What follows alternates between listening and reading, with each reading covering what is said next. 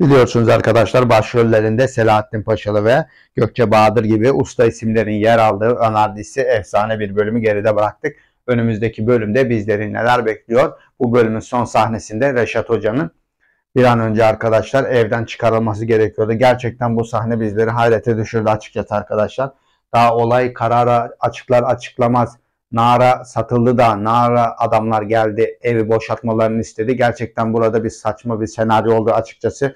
Bunu da burada belirtmek istiyorum. Çünkü arkadaşlar orada bir hızlandırılmış bir şey oldu. O gün içerisinde satılığa koyulan ev ayrıca satıldı ve o gün içerisinde bir gün içerisinde de Reşat Hoca evden çıkarılmak istendi.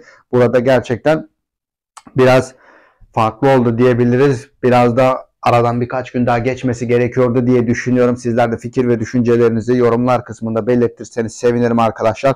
Bana göre bu senaryo biraz tuhaf oldu diyebiliriz. Çünkü o gün içerisinde satılmıştı ve o gün içerisinde adamlar satın aldı ve Aynı zamanda akşam da eve geldiler. Evi bir an önce boşaltmalarını istediler ve aynı zamanda da şiddet uyguladılar. Gerçekten bu senaryo biraz inandırıcılığını yitirmişti açıkçası. Sizlerin de fikirlerini tabii ki de bekliyor olacağım. Bir sonraki Ömer dizisi analiz videomuzda görüşmek üzere. Sağlıcakla kalın.